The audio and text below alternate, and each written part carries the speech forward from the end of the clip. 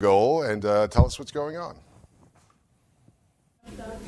Yeah, hi, John. Of course, you're talking about the winter storm out here. We have some chances to win some prizes. One of them being actually a snow scraper, a snow brush. Very useful for some of that winter weather we're coming in. But that's not on everyone's Christmas list. Of course, we do have Santa here until 7 p.m. later tonight. And Santa, we've had a few folks come on in here. What have they asked for thus far? Well, they asked for a lot of good, wonderful gifts for the, the family, and a vacuum cleaner is very handy to have for that.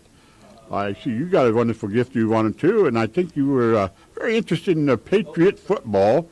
But I want to make sure the elders told me make sure you add a pump to keep those footballs fully inflated. I was talking. Santa definitely has some jokes here. So if you're looking for a picture with Santa, that's a good Oh, thing. oh, yes, but he's indeed. actually a very funny guy as well. Of course, I'm wearing my Bill Belichick uh, "Let's Party" sweat sweater sweater here, but uh, definitely, yeah, deflating those footballs was not not too cool. And what I'm asking for this Christmas would be a pump, but. Uh, there's other, definitely other things here. Santa's workshop gets very, very, very dirty making all those toys. So definitely, what would be a good thing to ask for And- for some of that? I've always found the Yaples vacuum cleaners some of the best vacuum cleaners to use for that too.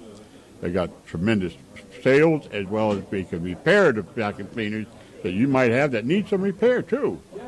Yeah, so get on down here. We'll be here till 7 p.m. I'm lucky I'm with Santa right now, but he could be busier by the time you get here. Not as busy as those mall cameras, as those mall uh, Santas right now, but definitely Santa is here. He made the trip from the North Pole, so get here by 7 p.m. to see him and get your picture while it lasts. And you can ask for that last minute present while he can get it to you. Be quick before I head back before the major storm hits. Yeah, and you know what? They, they said it. Uh, They're there at Yaples Vacuum Center on West 12th Street in Erie. Uh, again, till 7 o'clock tonight. It is the final uh, Jingle and Mingle segment uh, of the season here. So, again, uh, ahead of the storm, it is a good night uh, so far to travel.